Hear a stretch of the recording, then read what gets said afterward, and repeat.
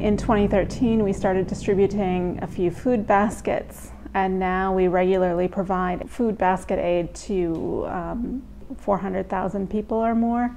And then we transitioned to also being able to, to distribute vouchers so people could buy the food inside Syria, which has the added benefit of enhancing the market inside Syria and people's livelihoods. We also want to work towards transitioning people away from getting distributions every month. And so we've started a livelihoods program so people can become more self sufficient.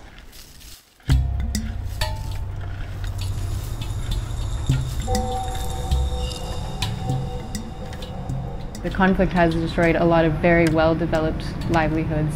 So people are, have a lot of education, a lot of diversity in the marketplace, and that's been crushed. Yes, now. Uh... المشاكل اللي صارت بحلب والثورة اللي قامت وجيت نزحت للحل على دركوش وما لقيت شغل أنا بحكم شغلي ما لقيت شغل غير الأرض Another project that we're working on that we really enjoy is solar irrigation. The solar irrigation systems that we have, which are nearly 20, uh, are currently irrigating about 50 hectares of land that are supporting pomegranates, uh, oranges, and other sort of fruit trees. القاد غالي المبيدات أسمدة كله غالي. اجت منظمة جول عنا. و... وعمل استبيانات على أساس إنه منظومة طاقة شمسية. فكنت من أحد المستفيدين منها. الله أكرمنا وركبناها بالسنين الماضية صار لها تقريبا حوالي سنه هلا. شغلوها وركبوها. واشتغلت المنظومة و... All these farmers they either didn't have irrigation on their land or they had diesel fueled generators and as we know diesel is very expensive it's hard to access and so for the most part these pumps were not being used anymore. وخففت شوي من مصروف المازوت وخففت شوي يعني كمان من من اعباء ترتبت علينا بالتصليح الموتورات وهيك شغلات انه يعني ما لها مشاكل هي الا مشاكلها بس يكون في شمس ما هي شغاله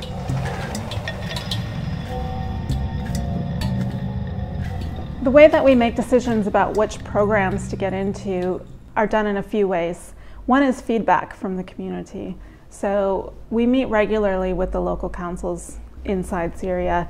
We also have done surveys, um, we have post distribution data. So we use all of that information from the people inside Syria about what their needs are. And we look at what other people are providing. So we know what we can do and we know what we can do well.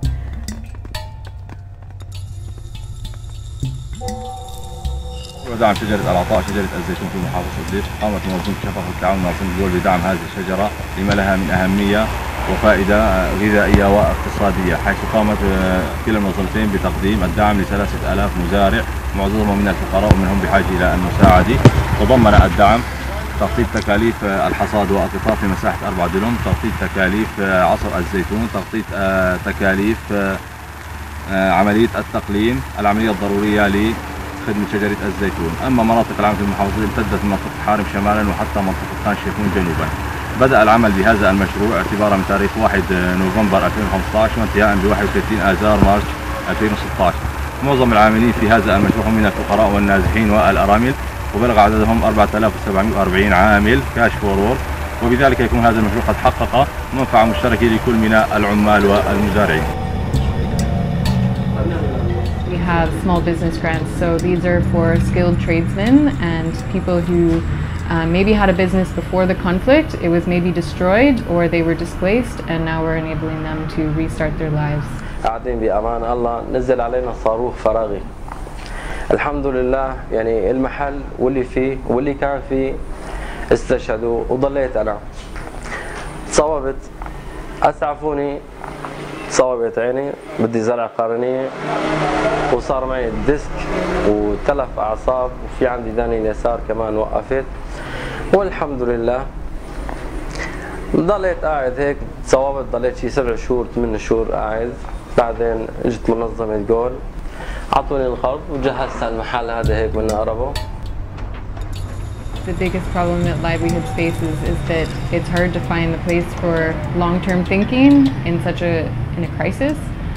So a lot of people think livelihood support is meant for development. It's meant for countries that are stable but have a lot of poverty. It's not meant for um, such fluid context. We're constantly trying to sell the idea that no, now is the time to start. Syria has a very well developed market. It has very highly skilled people, and people are still managing to find their way in the disruption, and, and so that when the war does end, um, that the market's able to recover more quickly.